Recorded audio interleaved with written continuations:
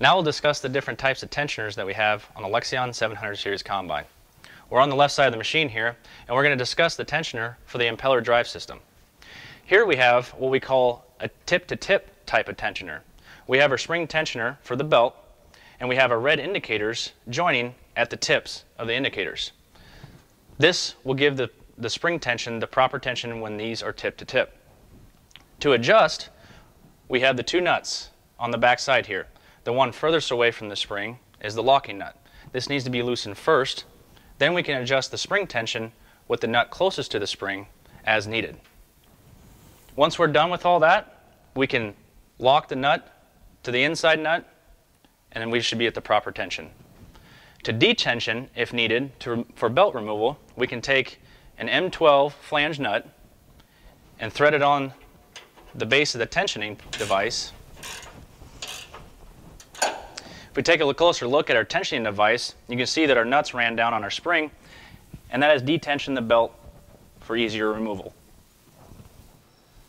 We're on the right side of the machine here, and we're going to look at the cleaning system fan drive. You can see here, this style of tensioner is what we call an overlapping tensioner. We have our indicator tabs on both sides of the spring that overlap each other. Now, if this tensioner is out of adjustment, to adjust, we have a nut that's furthest away from the spring called our locking nut and we can back this off and then we have a nut that's closest to the spring that we can adjust the tension as needed. I'm on the left side of the machine here and we're going to talk about the clean system drive.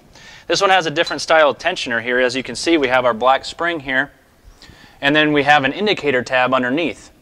The proper tension for this drive system is when this washer here is even with this steel indicator. To adjust tension, we have the locking nut furthest away from the spring, and then we have an adjusting nut. We would back that locking nut off first, and then we can adjust the tension of the spring accordingly. But the one thing that we have to remember about this one is we have a pulley over here that's bolted to the side of the machine. We have to loosen this pulley before we can adjust the tension on this spring.